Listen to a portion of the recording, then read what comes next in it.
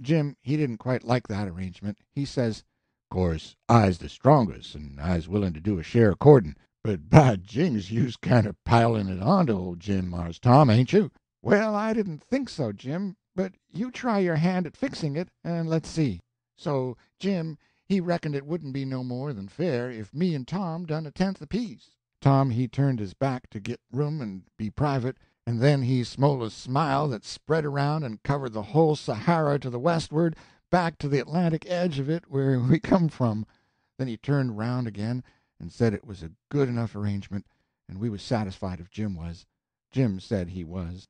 So then Tom measured off our two tenths in the bow and left the rest for Jim, and it surprised Jim a good deal to see how much difference there was, and what a raging lot of sand his share come to, and said he was powerful glad now that he had spoke up in time and got the first arrangement altered, for he said that even the way it was now there was more sand than enjoyment in his end of the contract, he believed. Then we laid into it.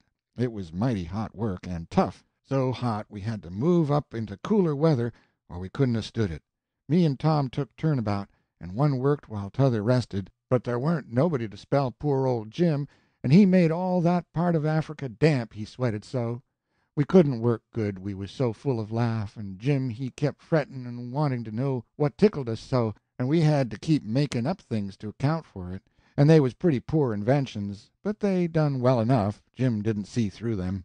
At last when we got done we was most dead, but not with work but with laughing.